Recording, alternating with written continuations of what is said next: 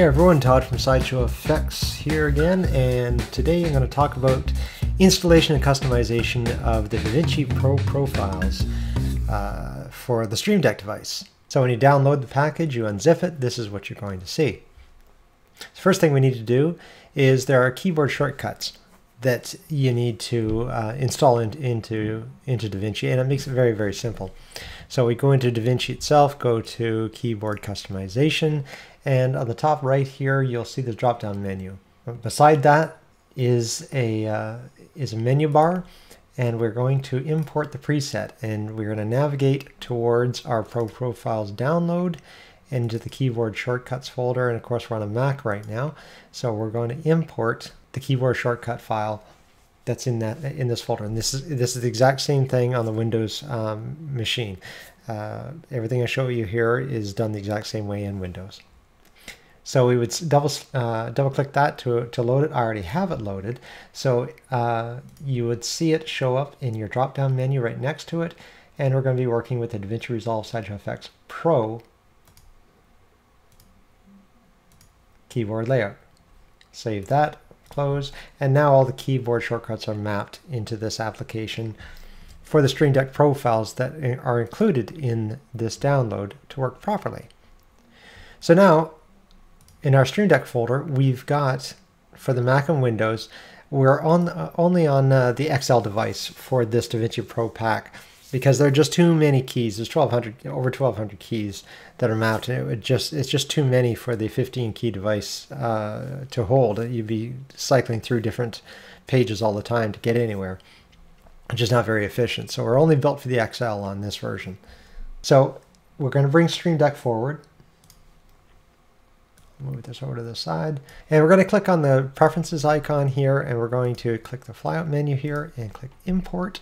And we're in, going to import in our downloaded folder under Stream Deck XL and we're on a Mac right now. And we're going to import the, both of these profiles. One is labeled and one is unlabeled. And you don't have to uh, import both, but I'll show you why you would import both in a second. So I'll start with the label, just double click that and it will load it in. And you'll see that it loaded at the bottom here and it uh, added the name copy to the end of it because I already have it loaded into my system already. But it just renames it with a copy here. So one of the things you'll notice here is that there's no application associated with this.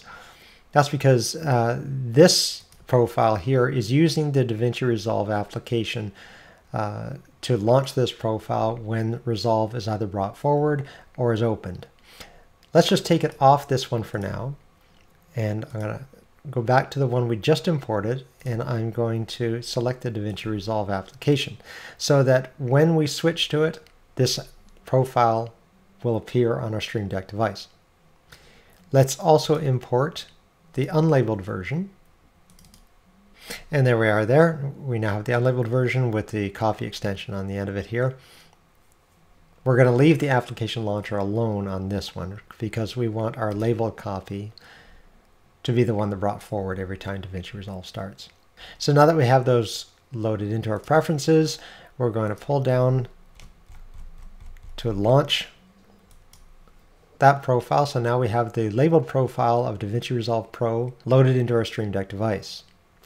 Now the one thing we're going to want to do is you can see there's a go to unlabeled button here. What this is going to direct us to do is when this gets pressed on our device, it's going to swing us over to the unlabeled profile that we just imported. So we click on this button and we're going to tell it to switch the profile when that gets selected to the DaVinci Pro unlabeled. Let's go to the unlabeled profile here and on the go to labeled, we are going to select the labeled profile that we just loaded in. So now on the Stream Deck device, when I click on go to labeled, it will switch to that labeled profile of DaVinci Pro. Same thing with the go to unlabeled. So now we're just going to go back and forth between the two. Very simple. So we're going to work on the labeled right now. So now all these keys are live and are able for us to be used as keyboard shortcuts in the application. Now this is a pretty extensive uh, uh, profile that, as I said, it's got like 1,200 uh, different key commands that are all uh, pre-programmed for you, but there may be one or two that haven't been uh, brought in yet, and you may want to include those. So let's just show an example of how you can modify it yourself. So let's say that in the playback menu here, uh, we want to include uh, the menu function play to in is not mapped here. You can see we go to uh, play around to and go to the play to in. It has no shortcut function assigned to it. So let's uh, say we want to include that.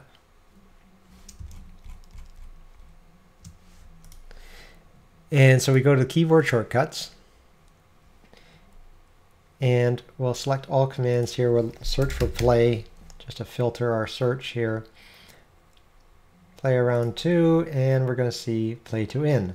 So if we select this empty box here, and we're going to assign a new shortcut to it. So it has to, of course, be a shortcut that has, isn't already assigned. So if we do Option Command close bracket, that one's already assigned. So we actually have to find a shortcut that hasn't been used yet. So let's cancel out of that so we don't overwrite the one that already exists. Uh, the keyboard layout up here is a handy guide to show you what has been taken and what hasn't. So if I press on Option Command, we can see that Option Command close bracket is already in use. But we could do Option Command P, for example, since it is available. So if we then select this, Option Command P on the keyboard, now it's selected. We save that into our profile, close it out. We can see from our playback menu play around to. Now play to in has the option command P shortcut applied to it. If I press option command P, it will play to the in point. But we want to map that to the key on our Stream Deck device. Back to Stream Deck. We have no keys available here. They're all taken up. But let's just say that we never used this step one frame forward key. We can just delete that and we're going to create a new hotkey action drag hotkey onto this button. We are going to assign it with that shortcut assignment, Option Command P. And as you can see, it automatically labels it into the title and puts it over top of our, our icon here. Oh, we don't want that, so let's uh, deselect Show Title. And we we will label this as Play to In. And we can also bring in our custom icon here. Since the icons have been made for every single function within the application, we can go to the icons folder in our download.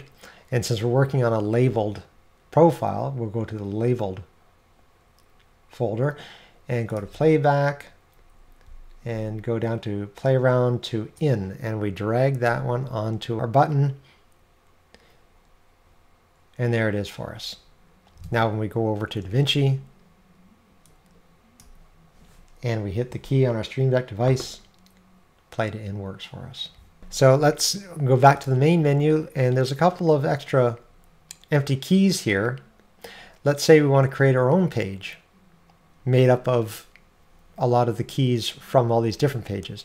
So select an empty key here and we're going to go up and do create folder drop it on, and this creates a folder of another 32 blank keys for us to start building on. Sending us back, brings us back to this page. So let's say that we want to include that key we just made. So we can select it and do Command C copy, or you can do right click copy here. Go to our newly created page, select an empty key, and paste it in. And you can do that for any keys that you want to move over. Let's say we want to add a serial node there.